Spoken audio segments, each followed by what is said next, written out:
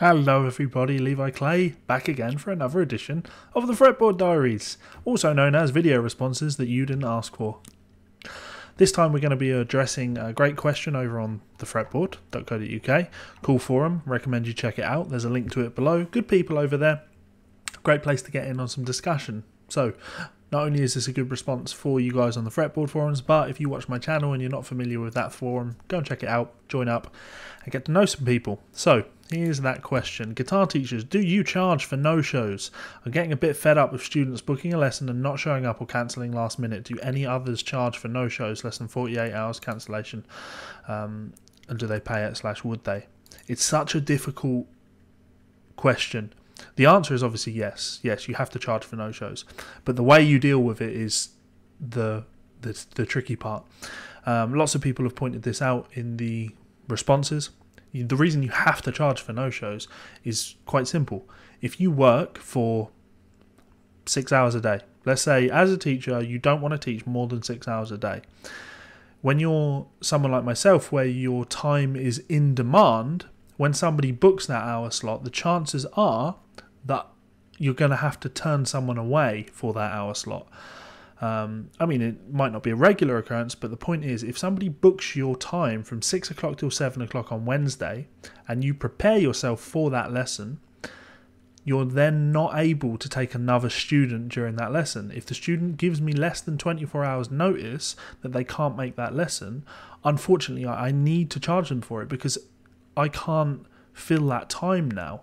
I mean, I can do some transcribing in it or whatever, but the reality is, as a professional teacher that takes my students very seriously, their learning and development very seriously, I can guarantee that before your lesson has commenced, I've put a lot of time into the preparation of that lesson to make sure that you're getting content that's tailored to your specific needs.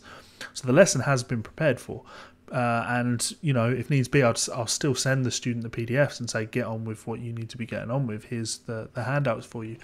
But you can't just not charge them for it, unfortunately. And it's a shame because I fully see the other perspective. But it's important to remember that when you study with someone, your teacher, you have to give them respect. You have to respect their time. And when you book their time, if you waste that time, you need to pay for that time, unfortunately, because it's not just you. You know, that t- teacher has several students, many students. And if you have uh, eight students booked in for a day, and six of them don't show up, that's awful. Like that's I can't pay my rent, that I can't pay my mortgage. Levels of awful. I don't do that much teaching anymore. Um, this was one of the reasons I found it too frustrating the amount of no shows that I was getting and just having to deal with. And this comes, this is where you come into the shitty part of it. It can really break relationships between between teachers and students because some students are just so adamant. Oh well, you know something came up cool. I'm sorry, next time you have a lesson booked and something comes up for me, I'm just going to go off and do the thing that I had that came up and I'm still going to charge you for the lesson, okay? I'm, I'm sorry that you didn't get the lesson, but something came up. Like, it doesn't work like that. I understand there are things, you know, bereavements and stuff like that happen. Um, and I'm and I'm more than considerate in scenarios like that. But at the same time, I don't want you to take it as a given. If you need to cancel a lesson, I need 40, uh, 24 hours notice. And if I can't get that 24 hours notice, because I need to fill that time with other stuff, if I can't get that, I need to be paid for that time.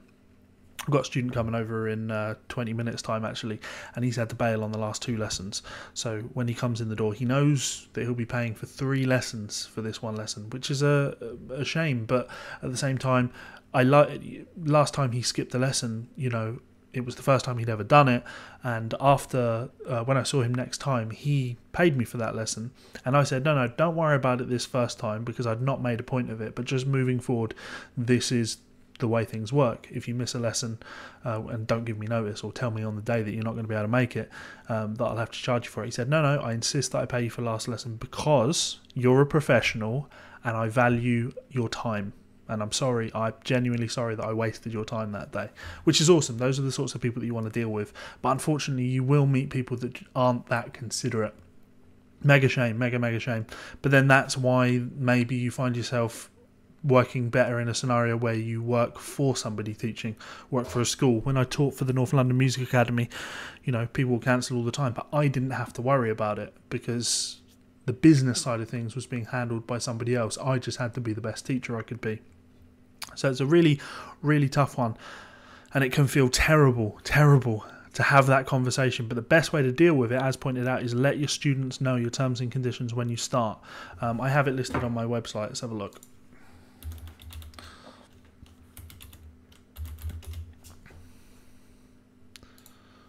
So if we go over to my website, under lessons, under information, uh, unfortunately, oh, move me out of the way. Unfortunately, due to the popularity of the service, lessons cancelled with less than 24 hours notice given will still be subject to the full lesson fee. Um, and just making sure that your students are aware of things like that uh, is the best way to deal with that. So it's it's a real difficult one. It's a horrible one, and something that as a professional teacher you have to learn to deal with. But that's fine. You are a professional. Just keep being a professional, um, and people will respect you like a professional. Cool. Hopefully that helped in some way, shape, or form. If you have enjoyed this video, you can check me out on Patreon by clicking the button in the top left. You can subscribe to this channel by the button in the bottom left. There's also two of my videos that you can check out there and there. um, and of course, you know, share this channel with your friends because your support is appreciated and I love making cool content for people that you enjoy. Uh, also, drop me a comment. Anyway, peace out, guys. Pleasure to serve, and I'll be back for another video again soon. Bye.